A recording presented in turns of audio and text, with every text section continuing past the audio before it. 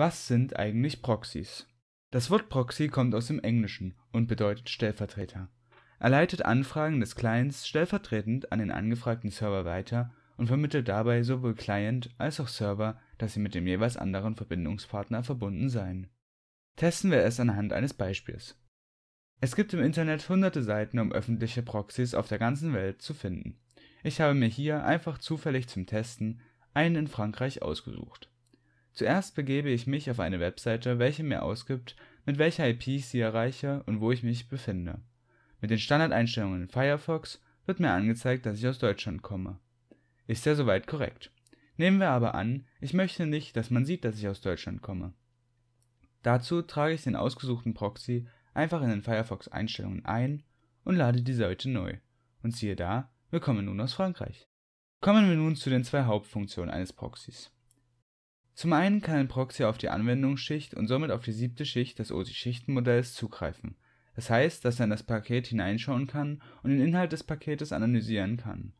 Zudem kann er den Inhalt verändern und somit dazu genutzt werden, unerwünschte Inhalte wie Viren, Malware oder ähnliches auszusortieren. Wer nicht weiß, was das OSI-Schichtenmodell ist, kann gerne mal in die Beschreibung schauen, da sind einige Videos sowie Informationszeiten dazu verlinkt. Kommen wir aber zurück zu Proxys, denn es gibt noch eine zweite Hauptfunktion, welche nützlich sein könnte. Ein Proxy ist nämlich dazu hilfreich, die Antworten des Servers, welche ein Client häufiger anfragt, zu cachen das heißt die Daten zwischenzuspeichern, um sie bei der nächsten Anfrage des Clients direkt bereitstellen zu können. So könnte zum Beispiel die Startseite von Google im Proxy-Cache zwischengespeichert werden, um bei einem erneuten Aufruf eine geringere Ladezeit zu ermöglichen. Natürlich gibt es nicht nur eine Art von Proxys, sondern gleich mehrere. Es wäre ja auch sonst zu einfach gewesen, oder? Die zwei wichtigsten Typen sind der Standard und der Reverse Proxy. Der Standard Proxy steht stellvertretend für den Client und überprüft für ihn die Inhalte seiner Verbindungen und speichert für ihn zum Beispiel häufig genutzte Webseiten ab. Der Client schickt dabei eine Verbindung an den Server, welcher am Proxy übernommen und analysiert wird. Danach beginnt der Proxy im Namen des Clients eine Verbindung mit dem Server aufzubauen und schickt die übrig gebliebenen Pakete weiter.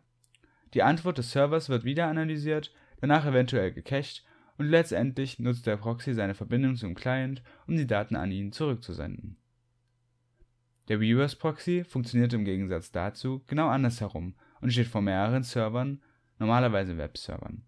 Das heißt, der Client baut die Verbindung über das Internet mit zum Beispiel der Domain google.com auf.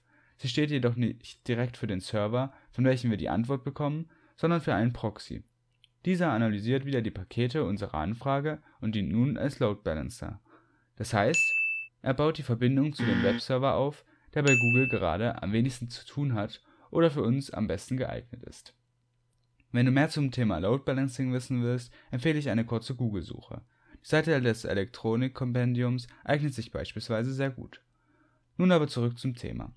Der jeweilige Webserver schickt dem Proxy nun also die Google-Startseite und dieser nutzt die Verbindung zu uns und schickt uns die Pakete durch das Internet zurück. Vielleicht kennt ihr Proxys aber auch aus einem anderen Grund. Sie sind mittlerweile auch durch Negativschlagzeilen, durch zum Beispiel den Proxy-Client Tor, in die Nachrichten gelangt. Diese Proxyarten sind sogenannte anonyme und hochanonyme Proxys. Anonyme Proxys verschleiern die IP-Adresse des Clients, arbeiten aber ansonsten wie ein Standard-Proxy, und ein hochanonymer Proxy verschleiert die IP-Adresse und gibt dem angefragten Server zudem vor, eine öffentliche Nicht-Proxy-IP zu besitzen der bekannteste Dienst dafür ist der bereits erwähnte Tor-Client. All diese Proxy-Typen arbeiten protokollspezifisch, das heißt, dass sie für jedes einzelne Protokoll, wie zum Beispiel HTTP oder FTP, einen eigenen Proxy benötigen. Jedoch gibt es auch eine Art von Proxys, welche nicht auf ein bestimmtes Protokoll angewiesen ist. Ein Circuit-Level-Proxy kann zwar den Inhalt von Paketen nicht analysieren, jedoch kann er die Schichten 3 und 4, also die Vermittlungs- und Transportschicht, sowie mit einem speziellen Dienst auch die fünfte Schicht des OSI-Schichtenmodells benutzen. Somit ist es ihm möglich, neben der Überprüfung von Adresse und Port der Pakete auch eine Authentifizierung durch beispielsweise ein Passwort zu ermöglichen. Man kann also sagen, dass er ähnliche Berechtigungen wie ein Paketbote hat.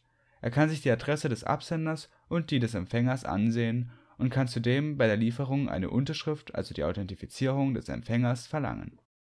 Kommen wir nun zu Vor- und Nachteilen von Proxys als erstes ist hier der Cache oder der Zwischenspeicher zu erwähnen, welcher sowohl Ladezeiten als auch Kosten durch geringeren Internetzugriff sparen soll.